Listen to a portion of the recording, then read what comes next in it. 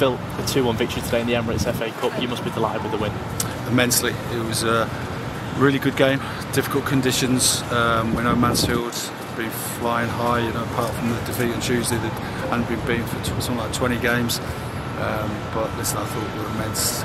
Two goals we scored really good, particularly the first one. We had other chances in the first half. I know they did, but we had some real clinical moments of great football, which um, we didn't quite capitalise on. And uh, probably the performance warranted us to come at half time further ahead. And we had to dig deep because obviously, you know, they're a good side and they threw everything at us. We got the second, and straight away they've, they've scored to respond, and the crowd were up. But the way we stood strong tonight as, as a group, you know, it was just a really great performance from the boys. And I said to the lads before the game that you know what's so important that we respect the history of Wrexham Football Club in the FA Cup. I think That's important. You know, we've built a great relationship up with, with people in Wrexham about the way we've performed and conducted ourselves. And the FA Cup means a lot. You know, we've got a great tradition it, and whether we win, lose or draw tonight, it was important we put in a performance. Um, you know, which our supporters back home watching on TV and the ones who made the long trip could be very proud of, and I think we've done that. How pleasing is it to not just progress, but to do it in the manner in which we did? yeah, it, listen, it was a, a, tough night to play, but you know when we passed it tonight, I thought we showed a real Christmas in our play. Um, you know, we knew that the Diamond Mansfield setup. You know, we spoke about the, the game here last time, where in the first half we, didn't pass the ball well enough. We gave the ball back to them too many times.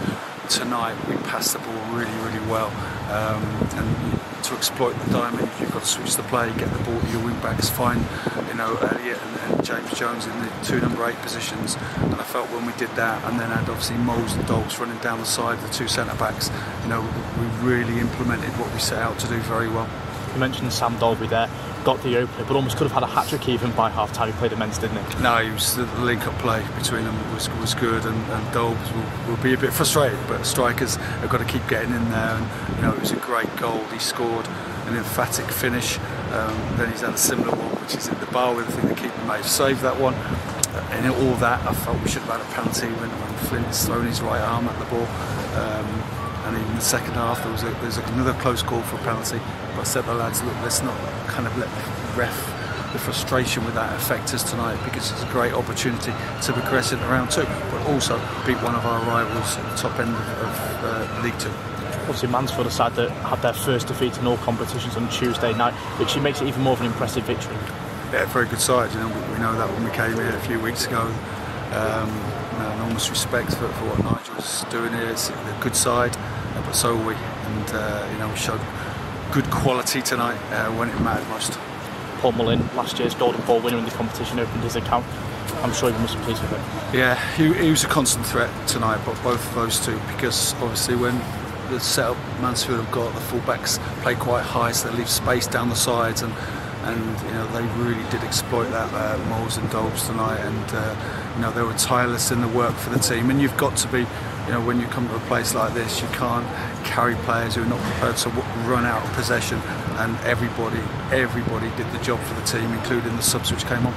Who came on, sorry? maybe the one negative from the evening, Andy Cannon going off injured in the second half. Maybe early, too early to tell, but how is it? Yeah, he's going to go for an X-ray tomorrow. It, it looks like an impact injury. Um, he was in a lot of pain, but it's very difficult for me to assess or predict what that injury is going to be.